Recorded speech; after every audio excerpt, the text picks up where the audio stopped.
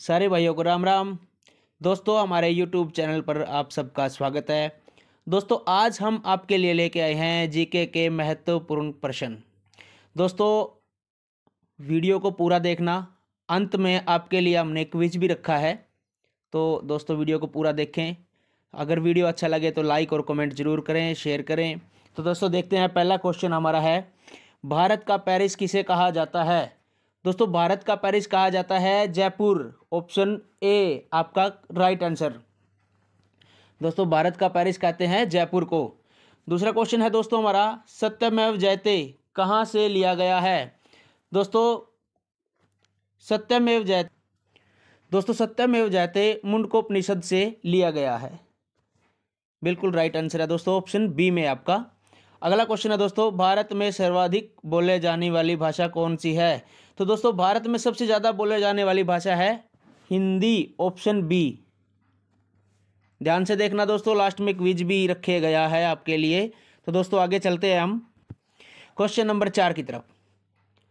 दोस्तों, आधुनिक युग का तुलसी किसे कहा जाता है? दोस्तों, आधुनिक युग का तुलसी मैथिली शरणगुप्त को कहा जाता है। आपका ऑप्शन नंबर है ए तो दोस्तों क्वेश्चन नंबर पाँच की तरफ़ चलते हैं हम। संस्कृत व्याकरण का जनक किसे माना जाता है? तो दोस्तों, संस्कृत व्याकरण का जनक मानते, माना जाता है पाणिनि को। Option C.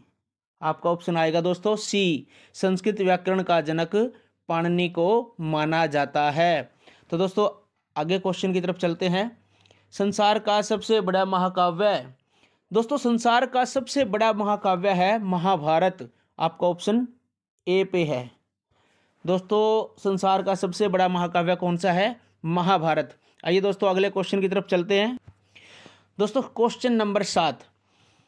हिंदी विषय के लिए प्रथम ज्ञानपीठ पीठ पुरस्कार किसे दिया गया? दोस्तों क्वेश्चन को ध्यान से पढ़ें। हिंदी विषय के लिए प्रथम ज्ञानपीठ पुरस्कार किसे दिया गया?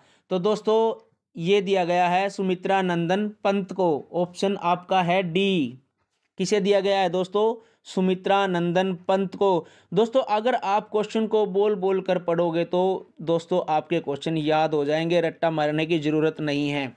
तो दोस्तों आगे चलते हैं क्वेश्चन नंबर आठ की तरफ़। दोस्तों सबसे अधिक बार बजट किसने पेश किया? दोस्तों सबसे अधिक बार बजट पेश किया है मोराजी दे, देसाई ने। ऑप्शन नंबर डी है हमारा। किसने किया है दोस्तों? मोराजी देसाई ने। तो दोस्तों आगे चलते हैं हम क्वेश्चन नंबर नाइन की तरफ़। भारत के राष्ट्रीय चिन्ह को भारत सरकार ने कब अपनाया? दोस्तों यहाँ पर थोड़ा गलती हो गई। भारत के राष्ट्रीय चिन्ह चीन की जगह चीन आएगा।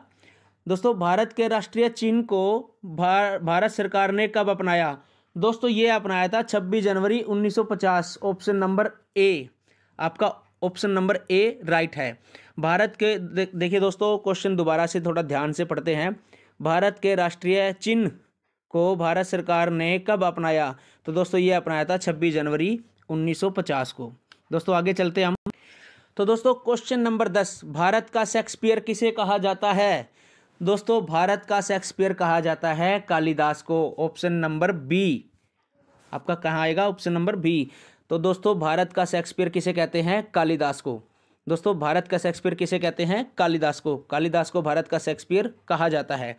तो दोस्तों, ये थे आपके दस क्वेश्चन आगे दो क्वेश्चन हमने आपके लिए क्विज रखे हैं। क्वेश्चन नंबर ग्यारह। ध्यान से पढ़ो दोस्तों इसको। क्वेश्चन नंबर ग्यारह को। हिंदी विषय के लिए प्रथम ज्ञानपीठ पुरस्कार किसे दिया गया? दोस्तों ऑप्शन पहला है ए ऑप्शन में है नागार्जुन। बी में है सुमित्रा नंदन पंत। सी में है महादेवी वर्मा। और ऑप्शन डी है मुंशी प्रेमचंद। तो दोस्तों, इसका जो आंसर होगा ए बी सी डी में से जो भी आपको अच्छा लगे कमेंट में बताना दोस्तों कमेंट करना। दोस्तों कमेंट करके आप बताओगे, हिंदी विषय के लिए प्रथम ज्ञानपीठ पुरस्कार किसे दिया गया? दोस्तों कमेंट करके बताना है। आगे चलते हैं दोस्तों क्वेश्चन नंबर बारह। दोस्तों क्वेश्चन नंबर बारह है, संसार का सब, सबसे बड़ा महाकाव्य दोस्तों, संसार का सबसे बड़ा महाकाव्य कौन सा है? ऑप्शन ए है दोस्तों, रामायण। ऑप्शन बी है दोस्तों, शिशुपाल वध। ऑप्शन सी है दोस्तों रघुवंश और ऑप्शन डी है दोस्तों महाभारत। ये क्वेश्चन का आंसर भी आपको कमेंट बॉक्स में देना है। दोस्तों, संसार का सबसे बड़ा महाकाव्य हमने पीछे अभी इन दस क्वेश्चनों में पढ़ा पढ़ा है अभी अभी दोस्तों, कमेंट करके हम बताएँगे, इसका आंसर क्या है कमेंट में बताना। ठीक है दोस्तों, थैंक यू। आपके लिए ऐसे ही क्वेश्चन, ऐसे ही क्विज हम लेके आते रहेंगे। वीडियो अच्छी लगी हो तो लाइक करें, शेयर करें, कमेंट करें। जय हिंद दोस्तों, जय हिंद, जय भारत।